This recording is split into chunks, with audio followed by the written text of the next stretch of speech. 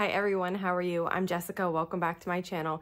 Today we're working on the block for the Stars and X's quilt. So I released that pattern last week and I shared a tutorial with you on exactly how to make the X block portion of it. The X block is used to make a larger block for the quilt. So we're gonna work on that today. Let's get started. So this larger block uses four X blocks and I brought four over here. When I'm making the blocks for my quilt, I'm probably going to randomly choose the X's that are used, but for this one, I just picked a nice variety of colors. And so we need four of these. I'll set these aside. We need to make block sashing units. And the block forms a star in the middle. And to get that, we're going to use easy corner triangles here like this to create star legs that's going to form with our, cornerstone and our other sashing units to make a star. So to get started with this, we need to make the easy corner triangles. You just take one of the squares and lay it at the bottom of the sashing unit, aligning it on the right and the bottom. We're going to sew from this corner to this corner. If you wanted to trace that with a pencil, you could do that also. I don't. I usually just line up my needle with the corner and then I have this line drawn here and I keep this corner on this line and then I know that I am sewing straight.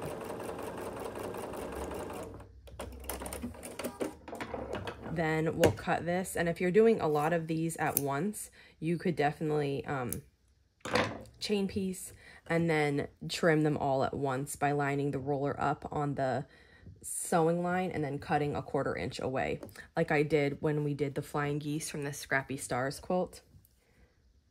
And then now that one side's done, we need to repeat that on the other side.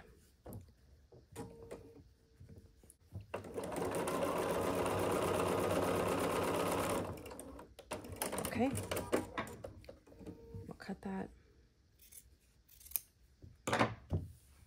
We're going to need four of these, and I have the other three made. I just wanted to show you this one. So in order to get this nice point on your quilt, you need to have the quarter of an inch from that point to the edge of the block. Okay, so that's one of them. And I have the three others made. So we need four X blocks, four block sashing units, and one center square. And here my center square, I'm matching it so my star is all one color. And then we'll start assembling. So you're going to take one X block and one block sashing unit, line them up next to each other, and we're just going to sew. Then we'll take a block sashing unit and our center square, match those up together and sew. And then we'll take another X block and another block sashing unit.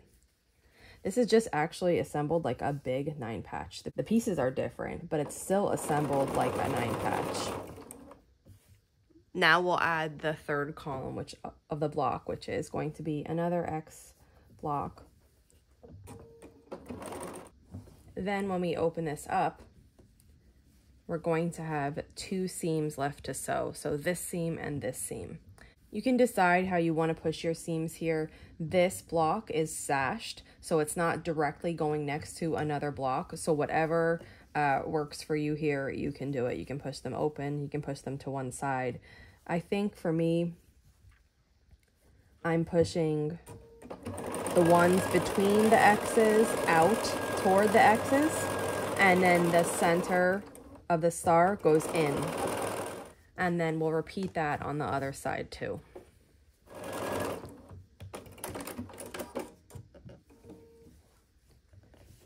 And when the block opens up, it looks like this. We have our two X's at the top. Our units, our, our block sashing units in center come together to make this pretty star. And then our X units at the bottom. And now we'll press this. I usually start from the back. And I'm just going to press I'm going to use my, my fingers here to just guide this seam. It's kind of resisting going this way because of this X block, but it is the direction that I am choosing to press it. So I'm going to use my fingers to just help the iron and get it settled. Then I'll do the same on the opposite side.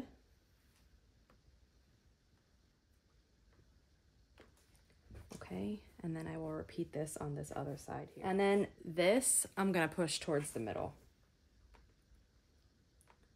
So just very gently, I'm using the iron iron to just press this towards the center.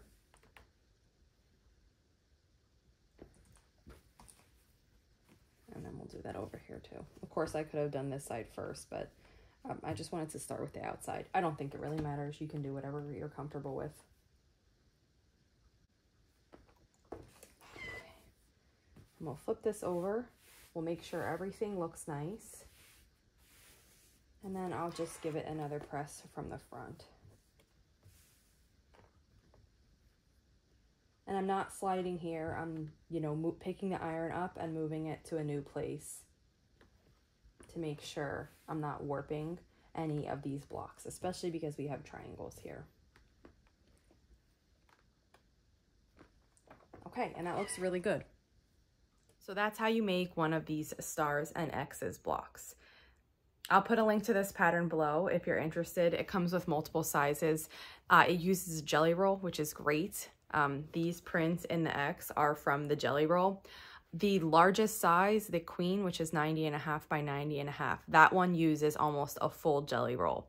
All of the other sizes are going to use less than a jelly roll. So if you have leftover strips, it works great, or you could use it from scraps. You could even cut it from fat quarters.